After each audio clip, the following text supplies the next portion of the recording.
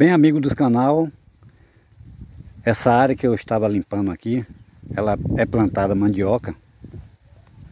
E essa mandioca, ela ainda falta cinco meses para ser colhida. O que é que acontece? A plantação não pode parar.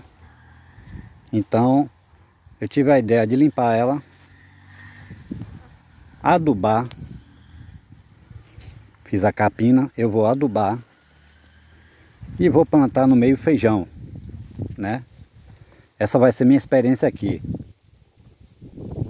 A copa da, da mandioca que tiver fazendo muita sombra, a gente elimina, que não faz mal.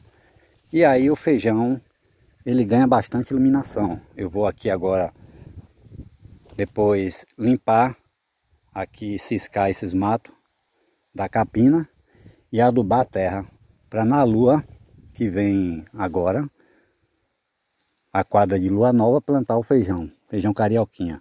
Ainda falta esse pedaço aqui, ó. Falta esse pedaço aqui, limpar esse pedaço amanhã, que vai ser um quilo de semente, feijão carioquinha. Então essa vai ser minha experiência, gente. Se alguém aí tem uma experiência melhor, acha que dá certo, acha que não dá certo, bota aí nos comentários, comenta aí, me dê uma opinião aí, me ajude me dê uma orientação também. Eu acho que dá, né? Eu já vi plantar com milho, feijão e deu certo. Eu acho que entra bastante iluminação. Desde já, gente, dá aí um joinha aí se você gostou, né? Comenta aí, compartilha esse vídeo para ver se alguém me dá uma opinião melhor. E se possível, se querer também, pode se inscrever no canal, gente. Tá ok? Compartilha aí, Dá uma opinião aí agrícola, que para mim é bem-vinda, viu?